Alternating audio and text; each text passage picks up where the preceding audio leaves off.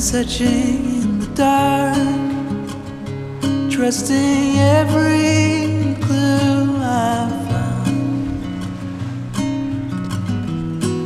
But the truth has not been told. Cause every corner of these woods is hollow. I can't see in the dark.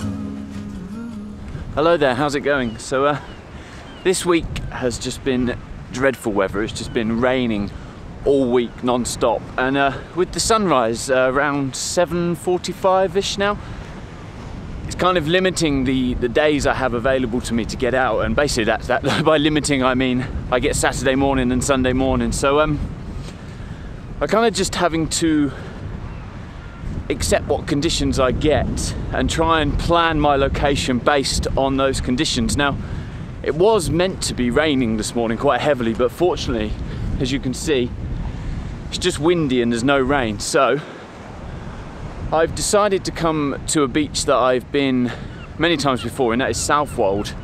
And the reason I've come here is because, as you can see from my, my hair and the, and the reeds here, the wind, I wanted to try and capture some nice images of the sand dunes blowing in the breeze.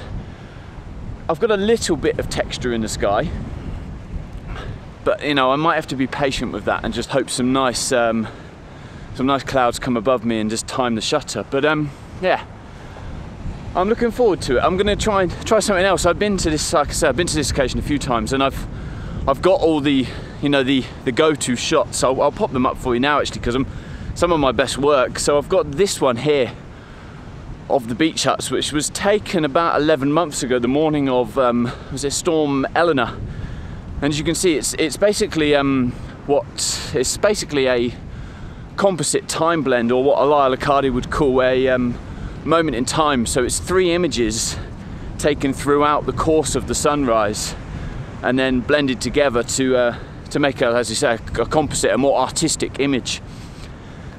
Then, uh, probably not long before I started making these videos, I came back for uh, for an evening. There was clear skies forecast, and I got this shot here, which um, is really nice. I really like this. So, this is again one shot taken deep into the blue hour for the foreground, and then I think about 150 images stacked for the stars.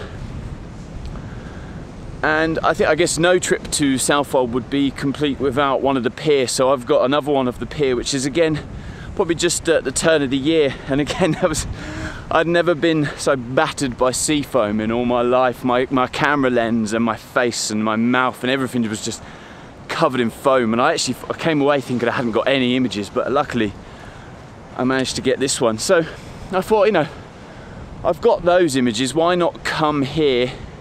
and try and be a bit more creative with my compositions, a bit more artistic. And I, I remembered um, a few months ago I came for a walk around here and all these lovely sand dunes are here. I mean, as you can see, there's so much cloud on the horizon that I don't think I'm going to get any morning light, but I think I'm going to be focused more on textures this morning, and I think shutter speed is going to be important because of the wind.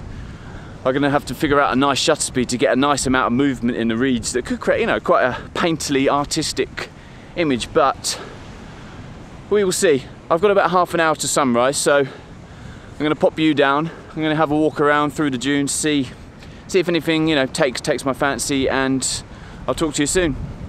It's only taken me about an hour, but I've managed to find my first composition that I'm actually quite pleased with. Um, I've been walking around handheld, snapping away, occasionally putting the camera on the tripod to experiment with the shutter speeds, but I just couldn't find anything that was quite compelling. And um, I'm trying to use the wind and the and how the reeds are blowing to create, you know, like a uniformity to lead the viewer through through the image. But I've not, I'm yet to find that. But what I have found is one nice composition because, as you can see, I'm on I'm on a bit of a slope here, going up into the dunes. So, as the dunes are going up, there's just two clumps of reeds, and they've got a little separation between them. And it, it quite works quite nicely because there's there's just a little bit of texture in the sky, which I think is actually working quite nicely. And I've just been experimenting with, with shutter speeds, so I'm, I'm finding around two, two and a half seconds is giving me a nice, with this, this sort of wind, is giving me a nice motion in the reeds. And yeah, it's, it's quite a nice image. It's, it's really simple.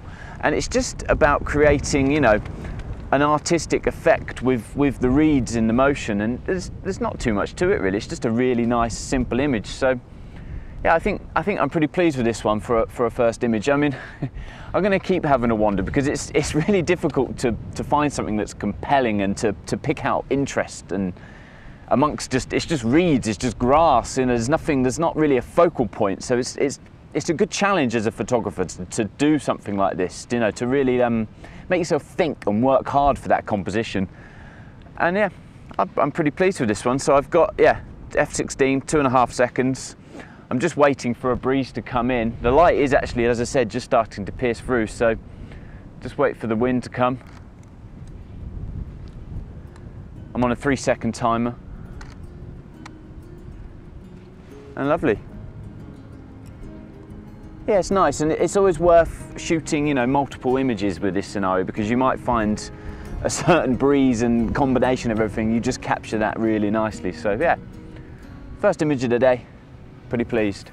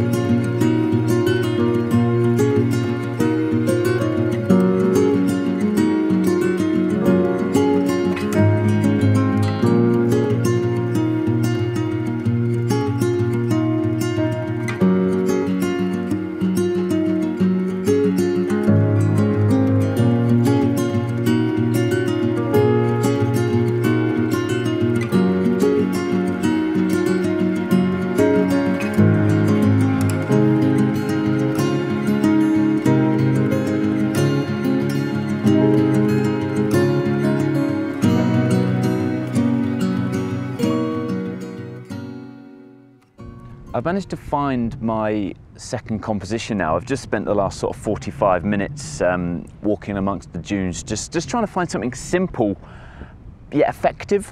And I think I've managed to find that here. So basically, as you can see on the left of the frame, I've got this footpath leading up through the image. And on the right hand side, I've got all this long grass. And because the wind, and it's being really strong this morning, so hopefully the audio is okay, it's blowing really strongly across the frame.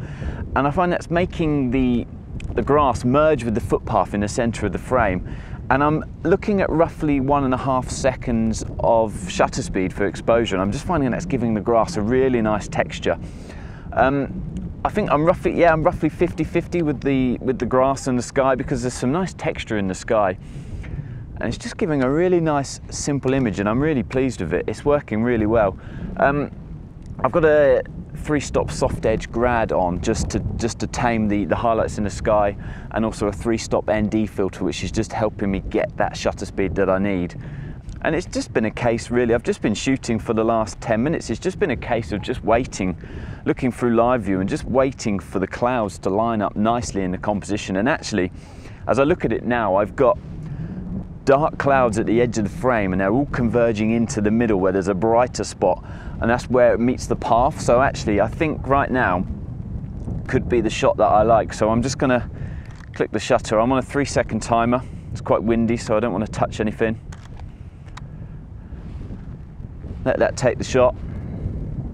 And it's really nice. I'm really pleased with it. It's it's something different to what I would shoot. And and actually that's that's why I came out here this morning because I could have shot the beach huts, I could have shot the pier, but I've done that before. I wanted to come amongst the grass and try and find something unique and original to me. You know, it's, it's the thing as a photographer, you've got to keep striving to improve and challenge yourself. And it's definitely been a challenge this morning, but I've, I've really enjoyed it. And I think I've come up with two, two really nice images. So pleased with how it's gone. A couple of quick announcements to make. In the new year, I'm looking to run two sunrise workshops in Flatford along the River Stour. And during the winter, it's just an incredible location. If you get a really nice thick frost and um, a still morning with the reflections on the river, it's stunning. So I'll put a link to those workshops in the description below. And if you're interested, then then please do click and check them out. Any questions, then you know message me down below or on the um, on the contact form on my website. I'm, I'm more than happy to get to get back to you. Um, but yeah, I think for me this morning that is everything. So if you're enjoying the videos and you haven't subscribed, then please do consider subscribing. And yeah, until next week, see you later.